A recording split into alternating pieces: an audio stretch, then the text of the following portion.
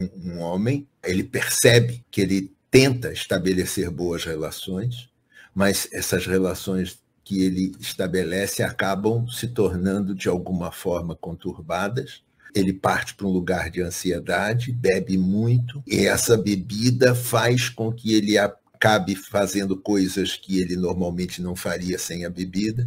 E esse procedimento, então, cria um lugar conturbado nas relações. E ele diz: ah, a culpa é minha. E como nós estudamos aqui, sim, é claro, a culpa, a culpa é nossa, não é do, do nosso parceiro.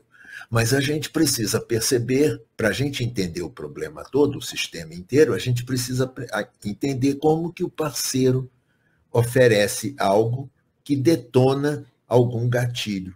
Né? E então esse homem, ele se relaciona com o parceiro dele e então ele percebe de que o que mais machuca ele na relação com o parceiro é a desconexão. Né? Ou seja, é como se dissesse: eu faço tudo por você, mas quando eu preciso de você, você não está aí para mim, para me dar o suporte que eu preciso. Perceberam? Quer dizer, é como se dissesse: eu faço tudo por você, mas você não faz, a culpa é sua. E isso parece ser, ok, justo, mas quando nós olhamos a vida desse homem, nós percebemos de que ele tem uma necessidade de comprovar no mundo que ele é desejado, que ele é querido, que ele é amado, que ele é, é respeitado. Então, quando ele coloca esse ingrediente no relacionamento atual dele, ele começa a perceber de que ele, ele está deixando, levando para esse parceiro novo dele, um pedido do intenso de dizer, por favor, por favor, eu faço tudo por você, mas por favor, eu estou em dor. E eu gostaria muito que você acolhesse a minha dor, mostrasse que você está comigo, não para resolvê-la, eu sei resolvê-la, mas que você pudesse sustentar a minha angústia. E quando ele começa a perceber esse pedido, ele começa a entender um monte de coisas na vida dele. Por quê? Porque ele começa a ver uma história maior do que a, a história que ele contava para si mesmo. Ou seja, ele agora percebe que ele vai ao mundo procurando parceiros que ofereçam a ele o que ele menos quer. Então, eu, é como se eu fosse ao mundo procurando mais do mesmo que eu não quero receber. E todas essas histórias começam a ser extremamente úteis para que nós possamos chegar nesse lugar melhor, de uma melhor homeostase, que vai me levar certamente para lugares mais satisfatórios na minha vida. Esse, Esse sentimento dele é a dor da criança, a dor de não sentir acolhido pela infância, é isso? Sim, nós gastamos hoje, gastamos foi uma palavra difícil, né? Porque, na verdade, todo terapeuta tem uma certa pressa, uma vontade de que o cliente evolua mais rápido do que é possível. Então, gastamos veio desse lugar meu ainda que é ansioso. Né? Nós hoje usamos duas horas de horário terapêutico para que ele pudesse entender o que eu, em tão pouco tempo, ofereci para vocês com poucas palavras. Agora, é claro que o fato de você oferecer essa verdade para a pessoa não leva a lugar nenhum. Né? Ou seja, como colocou aqui, esse sentimento dele é a dor da criança? Sim. E se essa criança está em dor, lembra das dores de todos nós. Imagina aquela vez que a gente deu uma corrida, deu uma escorregada, caiu de joelho no chão, doeu pra caramba. Naquele lugar, naquele momento de dor, alguém é capaz de perceber de que mertiolate é bom? então, é, é essa história. Ou seja, toda vez que nós estamos na dor, nós queremos nos livrar dela. E ao querer nos livrar da dor, nós queremos colocar uma camada de concreto, uma camada de aço sobre ela para que ela suma da minha existência. Mas ela não some. E ela apenas ela deixa de ser vista pelo meu neocórtex, pela minha parte que acha que resolveu o problema. Então, é isso que, que a gente precisa ver. Nós precisamos perceber como que aquela criança que nós fomos costuma agir na vida adulta que nós temos hoje. Ou seja, como que essa criança ainda passeia junto a mim? Como que essa criança responde usando, fazendo uso da minha neurologia adulta, como que essa criança ainda pula à frente e faz criar o desconforto que todos nós já vimos nos corredores de supermercado quando uma criança quer um bombom e a mamãe ou o papai não aceitam o pedido.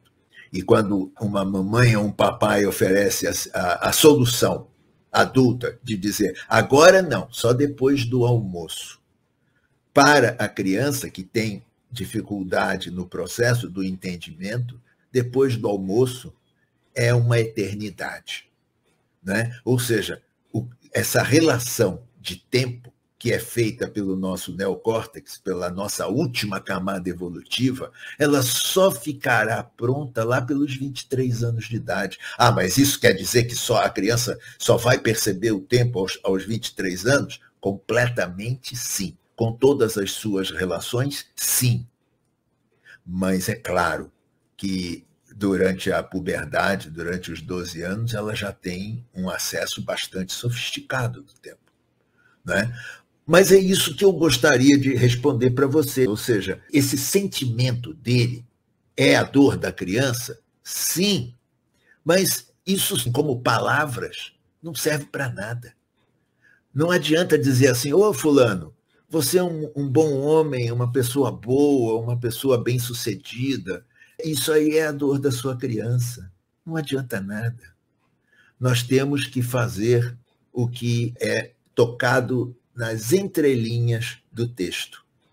Nós precisamos fazer com que as nossas lágrimas resolvam a quantidade enorme de cortisol que nós precisamos jogar no nosso corpo para lidar com as nossas repressões, tanto do nosso cérebro reptiliano, quanto das nossas viagens límbicas, quanto das, dos nossos erros de entendimento que são trazidas pelo nosso neocórtex e que geram o nosso caráter.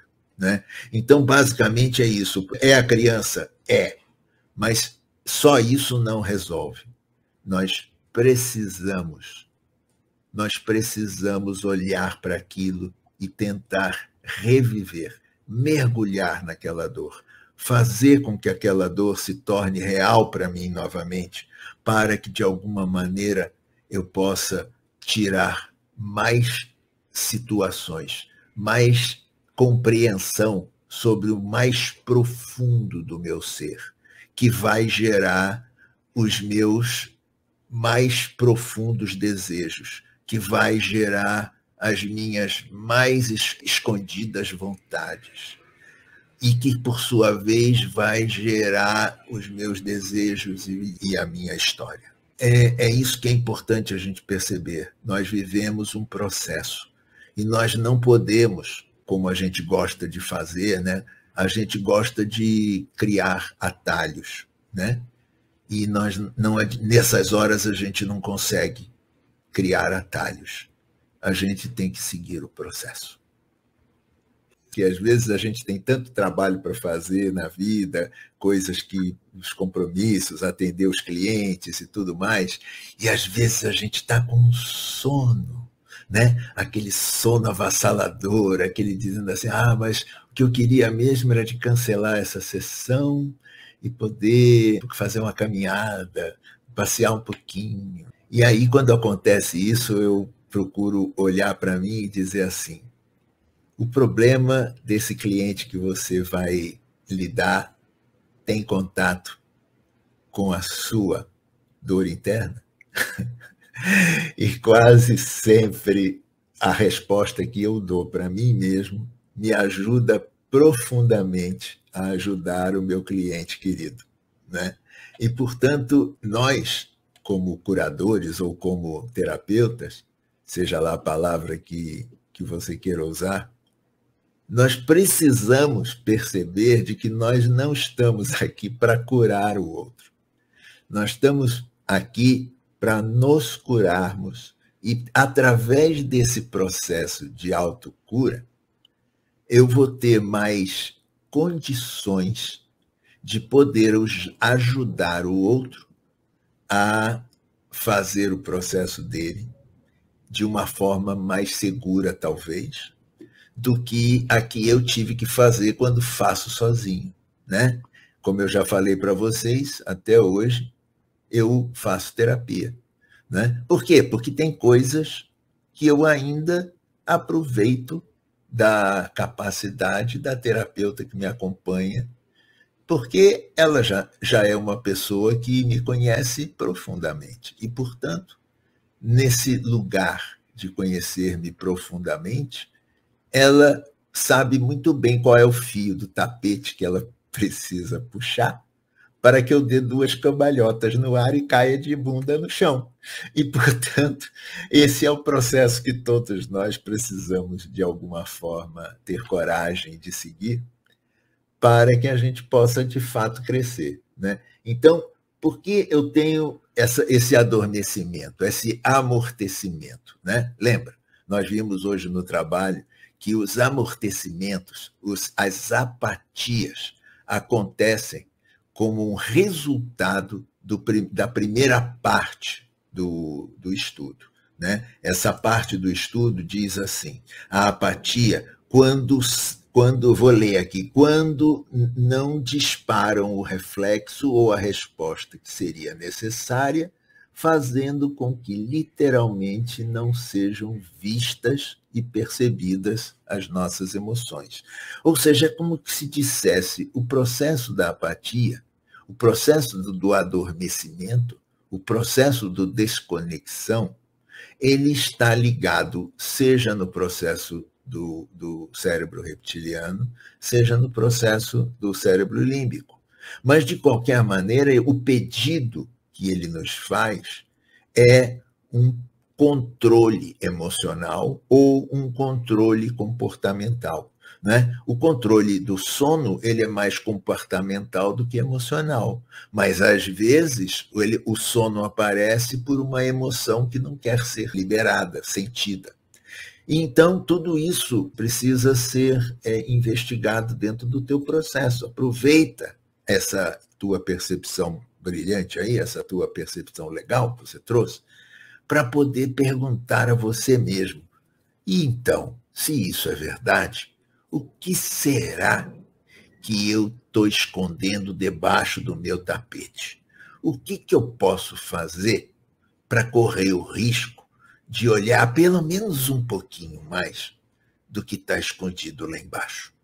É, o vitimismo, ele, ele, de alguma forma, ele tem função, da mesma forma que, que a agressividade também tem função. E nós precisamos perceber de que essa função tem função. Como dizia o velho Grudeck, né, que a gente sempre cita muito aqui, o velho do Grudeck falava sempre assim, né, atrás, atrás de uma neurose tem um, uma, um motivador, tem um objetivo.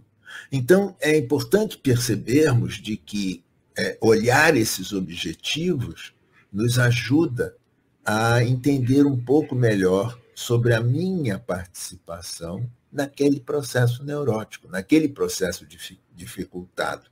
Né? Ou seja, existe uma sensação de vitimismo, ok, parece que de alguma forma tem uma parte desse vitimismo que é absolutamente justo, porque houve um dano causado de fora para dentro e, obviamente, esse dano me causou dor. Portanto, é justo que eu sinta essa dor do vitimismo, de ter sido vitimado, a sofrer alguma coisa. No entanto, é importante que eu também perceba de que essa dor, ela chegou a mim vindo de fora.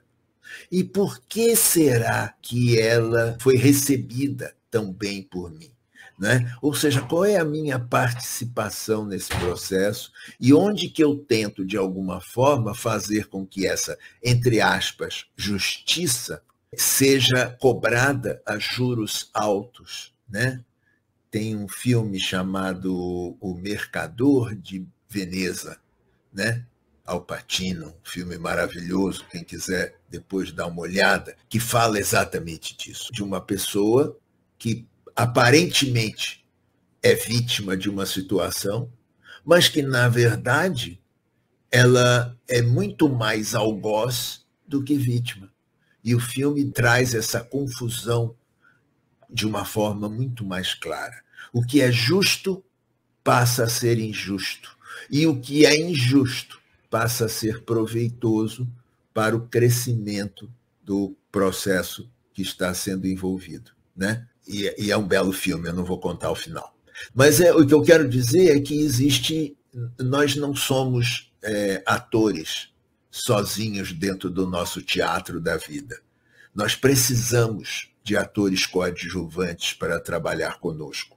E ao encontrarmos esses atores coadjuvantes, nossos pais, nossos eh, cônjuges, nossos namorados, nossos filhos, nós ficamos felizes de ter a ajuda que nós precisamos para executar a nossa peça teatral em nossa vida.